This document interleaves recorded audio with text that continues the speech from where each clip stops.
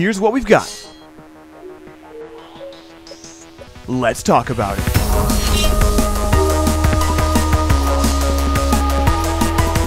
The widely popular anime streaming application Crunchyroll is now available on the Nintendo Switch.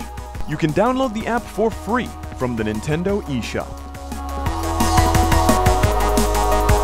The Pokemon Company has announced that a 14 minute long Pokemon Presents is coming on Pokemon Day, February 27th. The presentation will begin at 2 p.m. Eastern Time.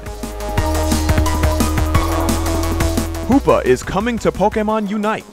This new ring wielding support Pokemon will be playable in the next few days.